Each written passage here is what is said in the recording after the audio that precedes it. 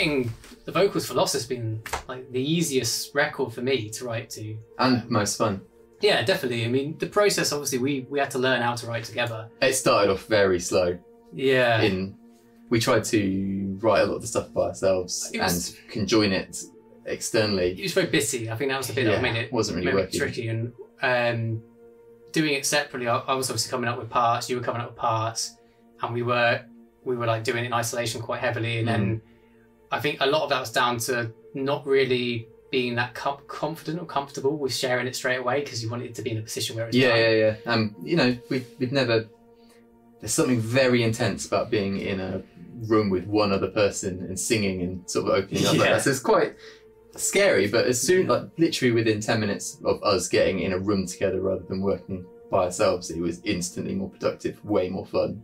I think the lyrics took a bit longer maybe than actually writing the songs. We just wanted to make sure make sure that we were we were sticking to themes, Mm. but also that we agree what we were going to write about and um, approach it with a common sort of goal.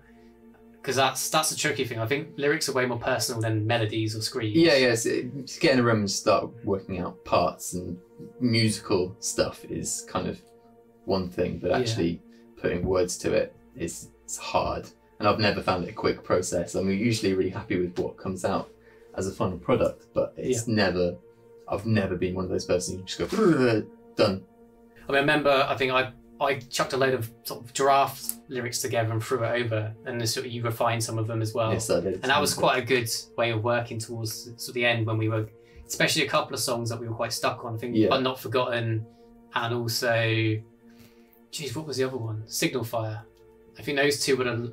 Oh, the start because we yeah we the end was quite Yeah, it was done easily. I mean, that was the interesting thing. Stepping backwards briefly is that there, in terms of us working together, there were a few things where one of us would just bring an idea and it'd just be there'd be no conversation. It's like that's it, yeah, yeah. that's it. And there's other times where we'd be working out sort of parts between us and we'd really be hammering it out. Mm. So someone, one of us would tr- just make up a part on the spot and go, I like that, I like that, I like that.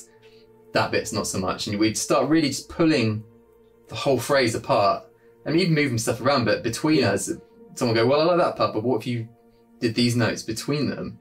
And eventually, between the two of us, we'd write some lines that neither of us would have come up with No, definitely. which is kind of more interesting because it's not just the product of one of our minds. It's really one of us, like both of us working off each other.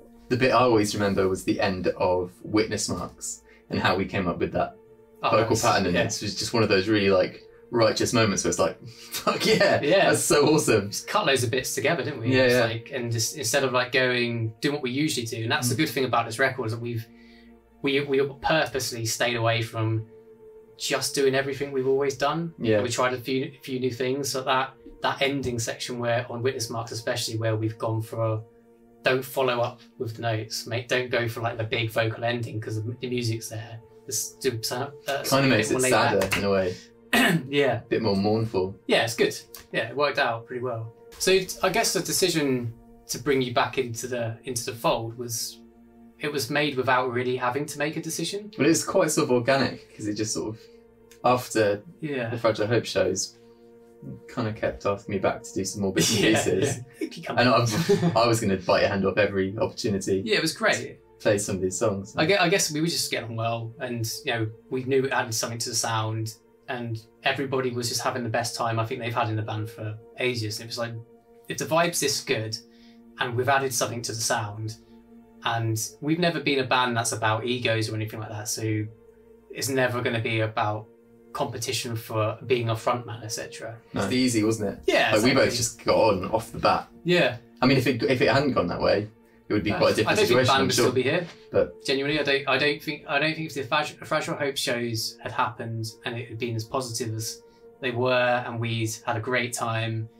um, that really kicked like kicked us into a, a new phase for the band, like a really positive era Mm. where we haven't really stopped going from there, which is I, I feel even from going backwards, Yeah. doing those Fragile Hope shows, that's the most positive I've ever felt in this band. And I think Yeah. that's probably true of all of us. It was just, I guess there was something slightly freeing about everyone's situation. Everyone's kind of just here to enjoy the ride, really.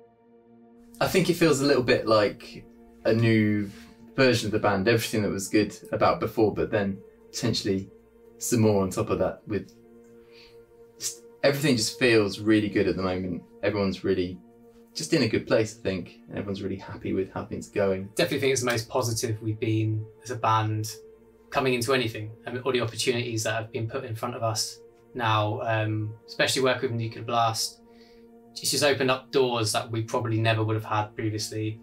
Um, the campaign and the team that are working on it are really pushing it to the areas that we want it to be. So I'd say this current form of Devil Sold His Soul feels like a second version of the band. I mean, maybe maybe even a third version of the band because obviously when you yeah, left yeah. and I came in, I'd say that was probably a second, not necessarily a better one, but it was definitely different a different one. one. Um, and this feels like Mark Three, version three, whatever, and it's the best we've ever been. It really feels like we've been working together for a really long time because of how yeah. quickly we really got on, and I just have no nothing negative to say about it really. No, no, nothing about the album as well. I can't I can't look back on any song, anything that's there and just go, no, I wish we'd done that differently, or I, I, I wish I was singing that bit, or I wish we'd done this. Yeah. But really, I just think everything's come out yeah, totally awesome. It's been great. It's been best writing experience of, um, of my life so far.